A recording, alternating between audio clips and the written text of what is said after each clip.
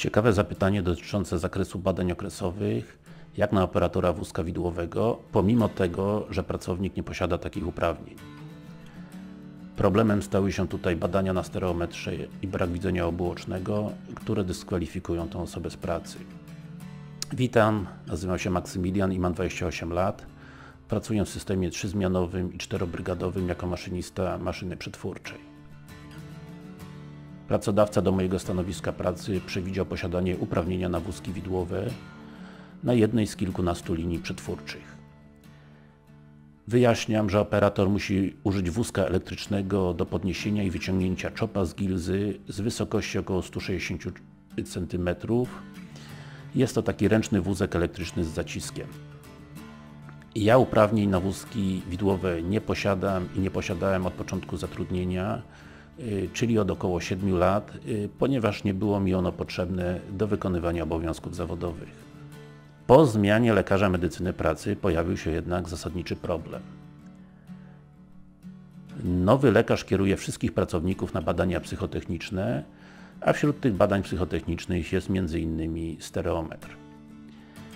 W karcie jest zaznaczone, że praca jest wykonywana w nocy, wysokość do 3 metrów i że posiadam uprawnienia do, wózek, do wózka widłowego. No oczywiście, jak już wspomniałem, nie posiadam takiego uprawnienia.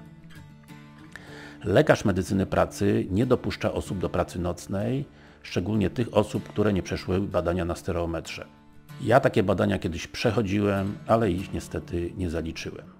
Maszyny, przy których pracuję są bardzo dobrze zabudowane, nie ma też jakiejkolwiek możliwości technicznej, aby mieć kontakt z wirującymi elementami. I zasadnicze moje pytanie. Czy brak widzenia przestrzennego jest podstawą do zakazu pracy w godzinach nocnych? Czy pomimo nieposiadania przeze mnie uprawnień na wózki widłowe, w karcie kierującej na badania mogą być one zaznaczone? Chodzi tu oczywiście o skierowanie na badania okresowe. Proszę o pomoc, ponieważ we wrześniu mam następne badania kontrolne.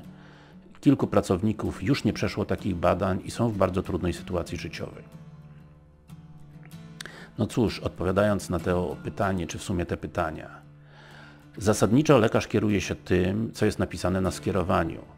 No a widzenie przestrzenne dla operatorów wózków widłowych jest niezbędne zarówno do pracy w dzień, jak i w nocy. Natomiast co tutaj zrobić?